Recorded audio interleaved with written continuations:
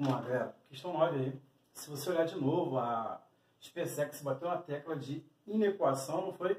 De inequação aí. E ele fala o seguinte, ó. Sejam f de x igual a 4x ao quadrado menos 12x mais 5 e g de x igual a x mais 2. A função composta, ou seja, a fog de x é menor que zero. O menor inteiro para o qual né, atenda aquela situação ali. Que é o menor inteiro que atenda a situação. Então, eu vou achar a composta aqui. Então, olha só. Para achar a composta, eu vou pegar na f de x, aonde for x, eu vou substituir por quem? Pela minha composta. Então, vai ficar assim. 4. 4 que multiplica x ao quadrado, só que x agora é, é a g de x, ó. Beleza? Menos 12. Quem é x mesmo? x é g de x, que é x mais 2. Mais 5. Isso tudo tem que ser menor que zero. Beleza? Então agora, vai resolver aqui, ó. 4, que multiplica aqui, eu tenho um produto notável, vou fazer quadrado do primeiro termo, x ao quadrado, mais duas vezes o primeiro termo vezes o segundo termo, vai dar 4x, mais quadrado do segundo termo, que vai dar 4. Aqui eu vou ficar com menos 12x, menos vezes mais dá menos, 12 vezes 2, 24. Mais 5, tudo isso é menor que zero. Beleza? Então, estou ficando aqui com 4x ao quadrado, 16x mais 16, menos 12x, menos 24, mais 5, igual, menor que zero. Beleza? Tranquilo? Então aqui eu estou ficando com 4x ao quadrado, 16x menos 12x, 4x. Aqui eu tenho 5 mais 16, 21, menos 24, menos 3. Tudo isso igual a zero. Então, cuidado, que eu vou achar as raízes de uma outra equação, lembra? Fiz isso em outra lista aí, né? Viu como que apareceu, no, apareceu no SpaceX também, tá vendo? Ó, imagina que eu quero fazer sobreproduto, não quero fazer básica. Só que o A não é 1, então eu pego o valor de A e multiplico pelo de C. Fica com x ao quadrado mais 4x menos 12 igual a zero. Beleza? Eu quero dois números cujo produto de menos 12 e a soma de menos 4. O produto tem que dar menos 12 e soma menos 4. Beleza? Então seria menos 6 e 2. Confere? Menos 6 e 2. Menos 6 e 2 aí. Só que essas raízes são dessa aqui. Menos 6 e 2. Só que eu quero as raízes dessa equação. Então eu tenho aqui, dividindo tudo por 4, as raízes ali da equação que está em azul vai ser é, menos 3 meios né, e menos meio. E mais meio. Né? Beleza. Então o que acontece? Aí ele quer o menor valor que satisfaça a condição, aquela condição dele. Então, primeira coisa, vamos esboçar aqui um pequeno gráfico aqui, olha só. Gráfico não. Seu gráfico todo. Aqui, ó. Dá para matar a questão aqui.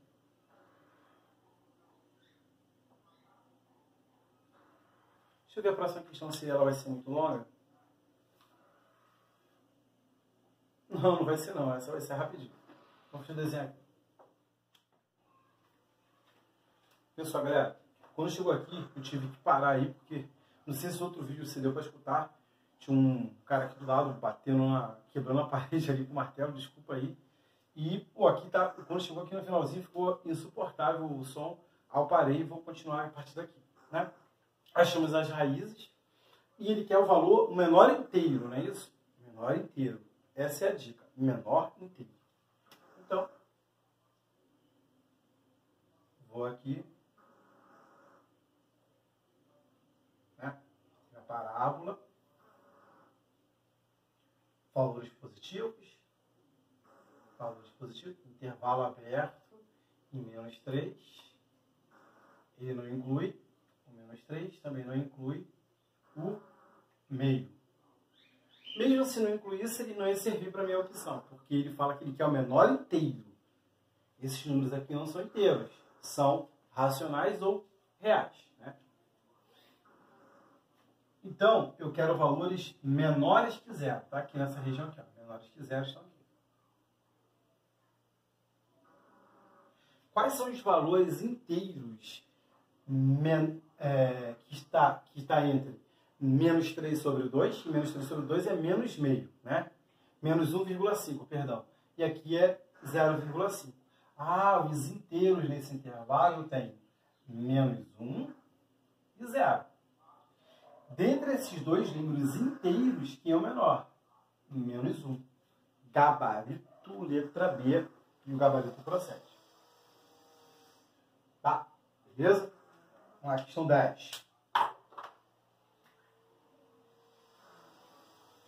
Vamos lá?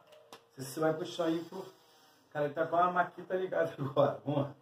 Olha só. Questão 10. Né? Se o polígono. A ideia é bem parecida também, né? É, um, cobrou uma questão não igual, assim, com essa ideia, é, EAR desse ano, né? né? É, só que a EAR ainda deu, deu, um, deu um mole pra gente que te deu a equação do terceiro grau, ele te deu uma raiz complexa e, fala, e ele, ele que uma raiz era inteira e tinha uma complexa. Lembra? Se uma raiz é complexa, um, se, um, se um polinômio tem uma raiz complexa, o seu conjugado também é raiz. Então, se você deu uma complexa, na verdade você tinha duas raízes. A outra era real, era algo parecido com isso, que eu vou falar aqui. Lembra, se você somar os coeficientes numéricos e essa soma der zero, uma raiz é 1. Um. Tá? Então, essa dica é muito boa, cara. x ao cubo mais ax ao quadrado menos 13x mais 12. Olha, quer saber? Ó, se o polígono, né, x ao cubo mais ax ao quadrado menos 13x mais 12 tem x, tem x igual a 1, né, tem uma raiz igual a 1, tem x igual a 1, com uma de suas raízes, então é correto afirmar que x é uma raiz de multiplicidade 2, né? Sei, pode ser que sim. As outras raízes são complexas, não reais? Não sei. As outras raízes são negativas? Olha só. Tem aluno, tem aluno que confunde o seguinte. Quando você começa a estudar polinômio, né, equações polinomiais, existe algumas uma teoria que diz o seguinte. Né, uma equação é, ela pode ter pelo menos uma raiz complexa. Pode ter, não quer dizer que ela tenha raízes complexas, cara. Né? Eu tenho equação segundo grau tem raiz complexa e tem equação que não tem. Todas elas têm? Não. Só tem em que caso? Quando o delta é negativo, uma equação do segundo grau. Então não quer dizer que só porque é do terceiro grau, necessariamente ela tem que ter uma equação de raiz complexa. Então, não sei, por isso que eu falei, não sei, pode ser que sim. Então, é, a soma das raízes é igual a zero? Pode ser. Apenas uma raiz não é, não é quadrado perfeito? Vamos ver. Uma é quadrado perfeito, uma já é. A outra eu não sei. É, vamos lá. Ó, lembra? Se eu somar os coeficientes numéricos, essa soma tem que dar zero quando a raiz é 1. Ele garantiu para mim que 1, deixa eu escrever aqui no cantinho aqui.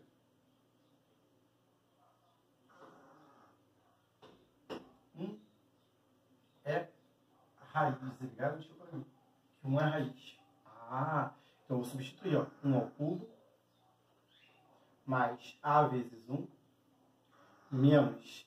Ó, outra dica. Eu tenho uma equação de qualquer grau. Ó, né, grau 3, o próximo grau é 2. Então, se o cara que acompanha o, o coeficiente numérico que acompanha a variável com grau 1 a menos que o grau maior, né? Se esse cara aqui for zero, a soma das raízes é zero. Tá? A soma das raízes é zero. Pode ter certeza. Tá? Isso aí é fato. Vamos ver se é verdade isso que eu estou falando? Então eu tenho aqui, ó. É, 13 vezes x mais 12, tudo isso igual a zero. Ó, 1 mais a menos 13 mais 12 igual a zero. Vê se o a não dá zero. O a está dando zero. Caraca, então a soma das raízes é zero? Sim, já temos opção. Gabarito letra D, soma das raízes é zero. Olha só. Pela relação de Girard, a soma das raízes de uma equação de qualquer grau é B sobre A. De qualquer grau. Lembrando que o A é o coeficiente líder e o B, o coeficiente logo após o coeficiente líder. Tá? Então eu tenho aqui, ó, menos zero, que é meu A agora, sobre esse, esse azão daqui, ó. Um. Então a soma das raízes está dando zero. Caraca, Sandro, já temos gabarito. Sim. Se você quisesse achar as outras raízes, se ele perguntasse, é, determine as outras raízes, né? Tinha esse polinômio, determine as outras raízes. Então, nessa questão, vamos fazer, já temos a opção, né? Gabarito letra D, deixa eu explicar para você.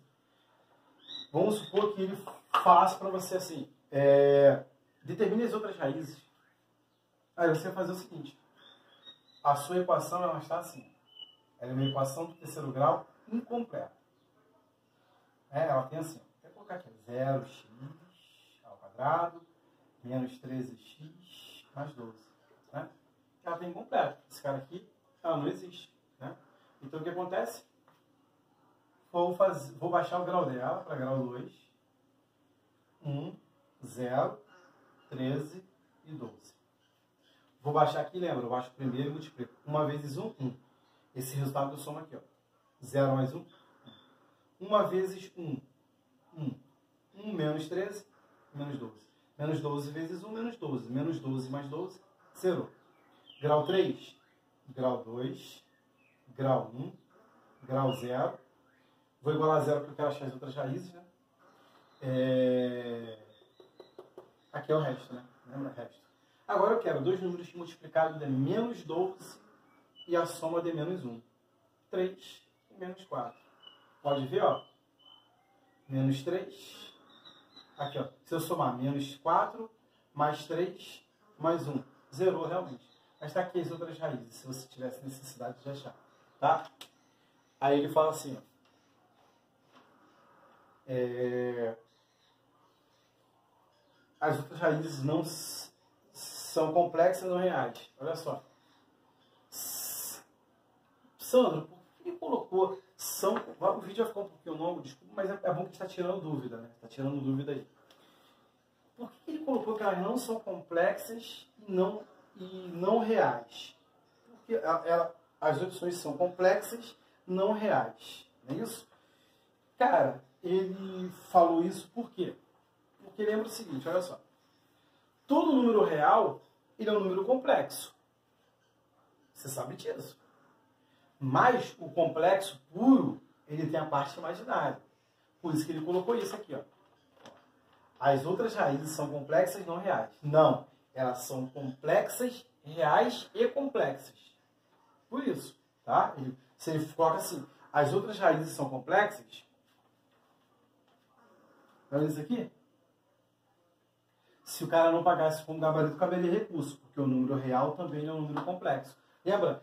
É, alguma, as questões assim, por exemplo, aqui eu tenho um número complexo, a gente falar, tirar uma dúvida aqui. É a dúvida de um aluno que me perguntou sobre isso. Sandro, por que ele falou isso na letra B? Ó, lembra, para que esse complexo seja um número real, então complexo, um número real. Um número real é complexo. Lembra que esse cara aqui tem que ser igual a zero e esse diferente de zero? Para que esse cara aqui seja um número, é, um complexo puro, né? Esse aqui é real, perdão, esse aqui é igual a zero e esse aqui diferente de zero. Né? E para que esse complexo seja um real nulo, A e B são iguais a zero. Beleza? Então, cuidado com isso. Então, por isso que eu fiz para achar as raízes e tirar essa dúvida aí. Vamos ver aqui as outras opções. Já sabemos, sabemos que é a letra D. Só para ver se tem uma coisa, se A cabe recurso, sabe que eu sou chato em relação a isso. As outras raízes são negativas? Não, somente uma é negativa. A, a soma, né, a soma dá zero. apenas uma das raízes não é um quadrado perfeito. Tá para tirar a raiz exata desse cara aqui? Né? Apenas uma raiz não é um quadrado perfeito. Não, essas duas aqui não são quadrados perfeitos, tá? No campo dos reais. Então, vamos lá, vamos para a próxima.